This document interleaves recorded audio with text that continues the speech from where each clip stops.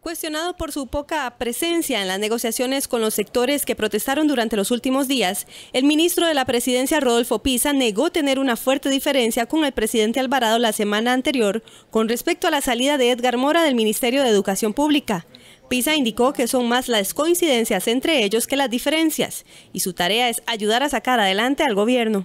No he tenido ninguna diferencia, cero. Eh, obviamente, como, como en, un, en un gobierno, hay puntos de vista, pero las coincidencias son tantísimas que las diferencias eh, dejan de tener peso. El presidente, por su parte, dijo que Rodolfo Pisa sí estuvo presente en los procesos de diálogo. Don Rodolfo en esto me ha apoyado en este proceso donde yo lo he necesitado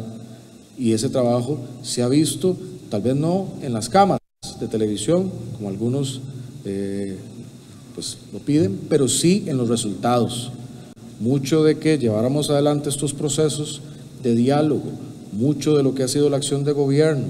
y mucho del resultado de que ahora podamos decir que las avenidas y las calles están abiertas, la producción se está moviendo y se restablece la,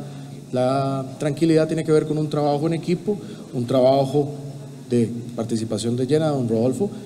por otro lado, el mandatario dijo que la ministra de Hacienda, Rocío Aguilar, cuenta con su total confianza para seguir en el gobierno, pese a que algunos sectores pidieron su salida.